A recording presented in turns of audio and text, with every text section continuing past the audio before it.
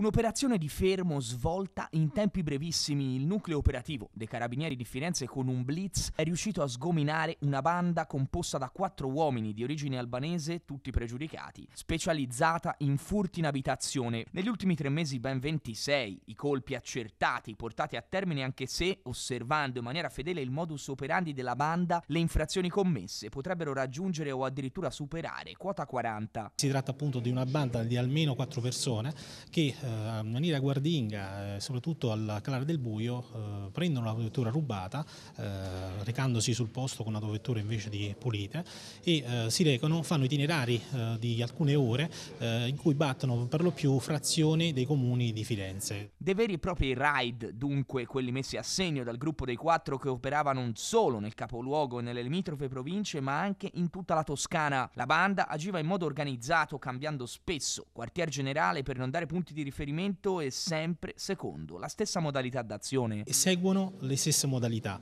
Uh, al Cara del Sole uh, prendono la macchina e iniziano il loro ride per poi tornare uh, fi al fine di, questa, di questi ride, riorganizzare la refurtiva e tornare in, nelle loro basi che cambiano spesso proprio per evitare di attirare attenzione. L'indagine, coordinata dalla Procura della Repubblica presso il Tribunale Fiorentino, ha consentito quasi in tempo record di arrivare all'individuazione del sodalizio criminoso ed in seguito all'arresto dei componenti dell'organizzazione, fortunatamente poco prima che i quattro uomini riuscissero a lasciare l'Italia per tornare nel paese d'origine. Si procede un, al fermo immediato di uno dei componenti a Pisa nei pressi dell'aeroporto dove si era recato per prendere la, la, moglie per poi allontanarsi e degli altri tre in due domicili diversi dove avevano fatto per questi giorni la, loro, diciamo, la, la loro base logistica.